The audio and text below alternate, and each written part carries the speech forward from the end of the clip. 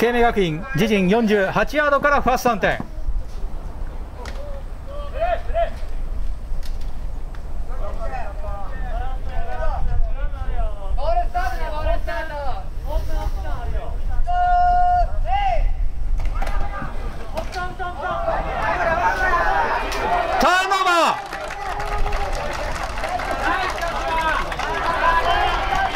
タッチアウ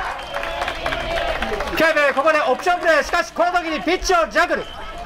落としたボールを取ったのは関西学院17番そのまま独走。エンドゾーン拡大タッチダウン。関西学院6点獲得。